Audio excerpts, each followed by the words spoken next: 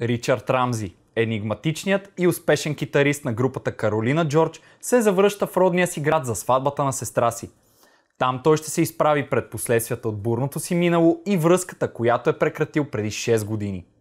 Това е любовната история между него и Вайлет, в която ужасно завладяващите и разкъсващите сърцето тайни от миналото се разкриват една по една. Ричард вече е продал душата си на дявола заради славата – а тайните, които крие, могат да го опустошат за винаги.